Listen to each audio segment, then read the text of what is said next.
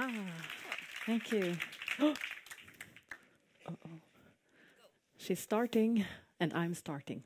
Okay, first of all, I'm very, very happy to be here today and uh, happy also to share some insights from the space industry. And uh, let's start. Uh, many people might question why space? Of course, because Earth depends on it. Sometimes we tend to forget that we actually live in space. Um, just very briefly, I started my company Umbilical Design 2001, and that was directly after my master degree of uh, industrial design from Lund Institute of Technology. And then people, of course, told me here in Sweden that Cecilia, you can't start a space design company in Sweden. That's one of the attitudes that we need to have not in Sweden anymore, I hope. Uh, from the beginning, we were focusing only on design for outer space and extreme environments and working both with NASA and the European Space Agency. Uh, many people tend to ask about the name, and umbilical is, of course, a space term and is used about everything that connects two things in space. And uh, if we translate it, it's, of course, navelsträng. Uh, and uh, we want to be the creative link into big complex projects and really work with creativity and innovation. But it all started with this little vehicle, the Crew Return Vehicle. It started as a diploma work for NASA and European Space Agency. And when we came to NASA, the, the head of the Crew Return Vehicle project told us, Oh, so you're the Swedish designers that are going to hang some curtains in the windows? I guess it was because we were three girls and one guy. So we decided to actually work with the whole interior of this little vehicle. And um, when you see this image, you might even understand more why I like to work in this industry, because then you can go up flying with these parabolic flight planes. It brings you up and down, and on each top, you are weightless for approximately 30 seconds. And then you can try the prototypes and actually understand how it feels to be an astronaut in outer space. It's great, you should try it. And it's fun because they repeat it not only once, but 30 times you go up and down like this. So it's like two and a half hour flight. Strongly recommended. Um, if you see those red arrows over here, the people at NASA saw them also, and we had a telecon. We were going back and forth to NASA Johnson Space Center in Houston, working with this project, but also had telecons from Lund. And then the NASA people asked us, "What are these red arrows?" And we said, "These are uh, illustrating a damping system, so the astronauts will have a better landing." And then the question was back to us, uh, "But how will that work?" And we, as design and architect uh, students, we had no idea. And our professor was uh, uh, with us at this telecon, and he said, probably one of your 8,000 engineers engineers might solve this for us. And it was quiet for a while, and then we heard yes. That's also why I like to work with this uh, space industry because they can transform red arrows into damping systems. They just didn't know it before. So it's all about communication, isn't it? Uh, talking about collaboration with astronauts, we had a team of six astronauts helping out in the project, led by our Swedish astronaut Christer Fuglesang, and that was also very uh, troubling for NASA. How come that these astronauts help these Swedish students? Six astronauts putting effort and time into this project. And we thought we could be helpful and actually explain why, because we actually asked the astronauts what would be helpful in this uh, uh, interior for you when it becomes an emergency situation. So it's again, it's about communication and actually asking and involving people in your project. So we changed the, the total uh, interior of the vehicle and the, the major thing was that instead of having a flat floor with seven seats placed upon the floor structure, we integrated the seats in the floor structure instead. So that saved a lot of weight, and that's very important in the space uh, industry because it costs uh, about $10,000 per kilo what you decide to actually bring to space. Um, and we also uh, actually calculated exactly how much volume we could save and give to the technical systems so we could show the engineers what we as designers and architects could actually bring to a project like this. And after that, there, were, there has been no more talking about curtains for 14 years now. Um, so I really fell in love with this industry and decided to start my own company and actually put Sweden on the international space design scene, which seemed very reasonable from the US side, but Sweden were very puzzled.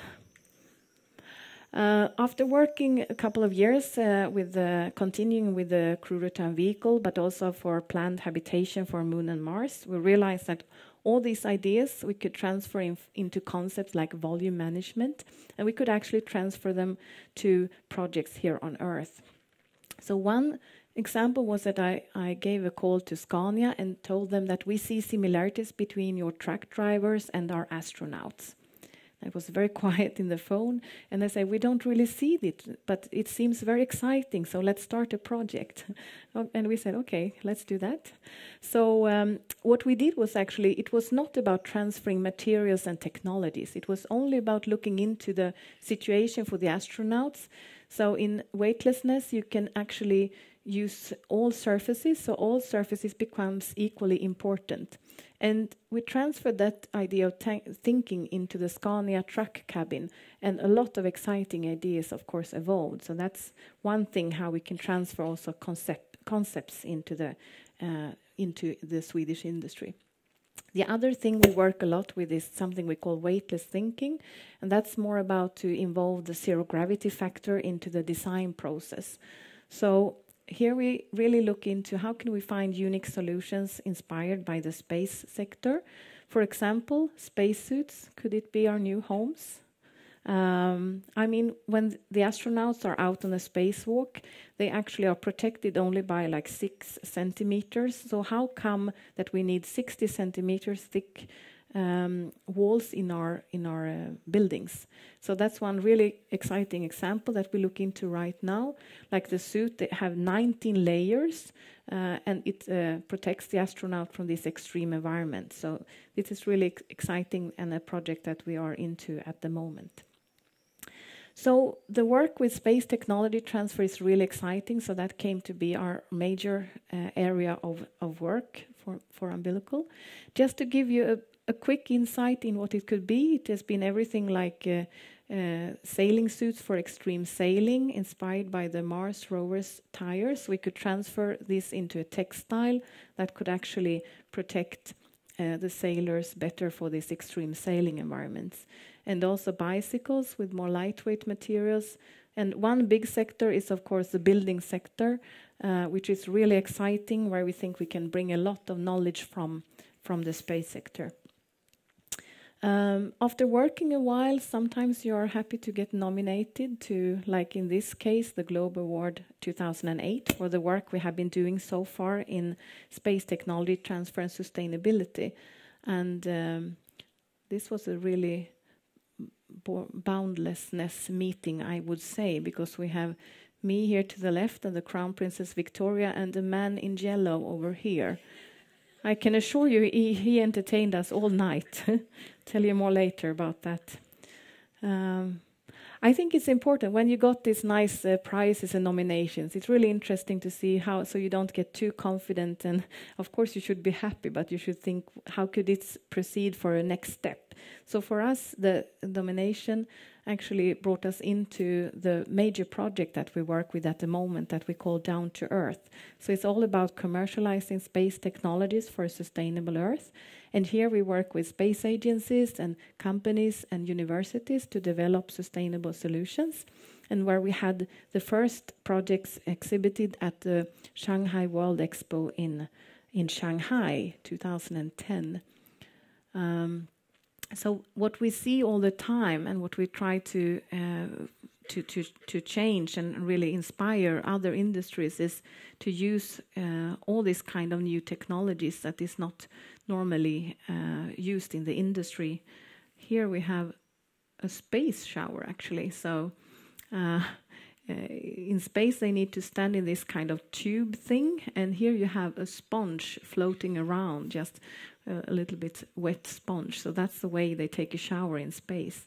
So they don't use so much water, and that's actually what we want to bring into as a new kind of thinking, like an astronaut living style on Earth, because we also have to be very careful of how we use water. nowadays. So maybe this should be uh, one of our transfers. At least he looks very happy, don't he? Um, I don't have so many figures in my presentations. I almost always have one, and that's uh, number 20, because me, most people don't know about the value that uh, space brings to Earth. And actually, here in Europe, for all invested euro into the space sector, it comes back uh, times 20 to the society. Uh, our, our American colleagues, of course, say we can double that. so we need to get inspired from, from that as well, of course. Just to give you one uh, brief idea about uh, a project we worked with for Academedia, where we looked into more of these conceptual ways of thinking, where we said, how is the education of the future? Do we really need a school at all? Could, could a school be something else? Do we need a building? So here the idea was to maybe we can put people on a train and call it for training. Been working a lot with Gothenburg, you see. and um, um, yeah, that's my kind of people. um, and and here it was really exciting because we were thinking about like sending out astronauts in, in outer space. It's the same thing. Let's put students on trains and send them out and have them work with innovation on trains. So that was one of the concepts that we showed in the space innovation module in Shanghai. And while being in Shanghai, we realized that Shanghai and Gothenburg are sister towns. So that's what brought us to Gothenburg and working, starting working with uh, several companies in Gothenburg. And that also made us bring this project training into action. Working with the Gothenburg companies, we actually could put 80 students from Tongji University uh, traveling eight days and night, working with our concepts from Shanghai to Helsinki. It was really, really exciting results that came out of that. And now we are looking into new cooperations and doing this kind of training all over the world, actually, together with United Nations and the World Tourism Organization. Um, so uh, this is really exciting to see what it can bring into people's life, doing a journey, but in the same time working with innovation.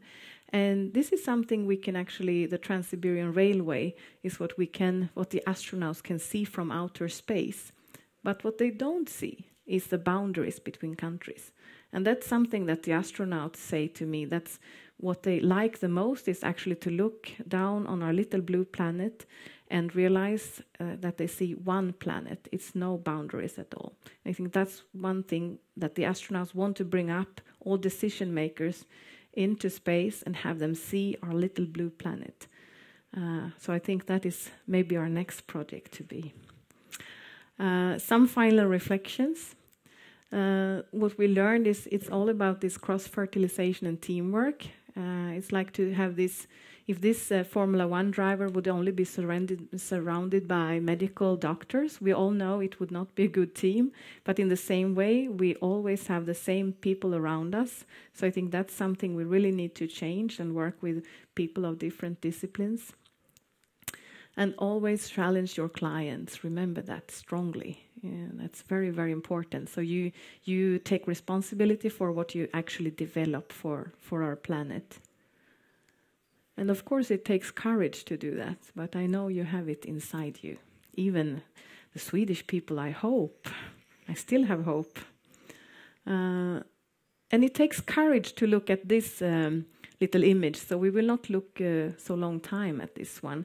This is actually a sketch made by our Swedish astronaut Christer Fuglesang when we were out in a bar he made this sketch on a napkin for me. It's uh, about the universe. I wanted to share this with you, but we look at a short while because it's uh, it's a bit troubling because five percent of the universe it's what he called matter. That's what we know. Uh, thirty percent is dark matter, and here he writes lite aning. We know a little. Sixty-five percent is dark energy and here he writes, absolut ingen aning. Absolutely no idea. So you see, it's, it's a bit troubling to look at, but also inspiring that we need to continue explore. And uh, to explore, the most important thing is what I call the why not people. Uh, and I recently heard that uh, after one month, you only remember 1% of a, a, lecture. So I like to summarize my lecture in two words, and they are why not? The most important thing for tonight. So, why not people? I used to say that I collect on the why not people, and they are extremely important because it's the people that actually say when they are affronted by a bit strange, odd projects, they could actually say, why not? And I think these people are the most important people for innovation and growth for our country. And by that, I want to say thank you all for listening.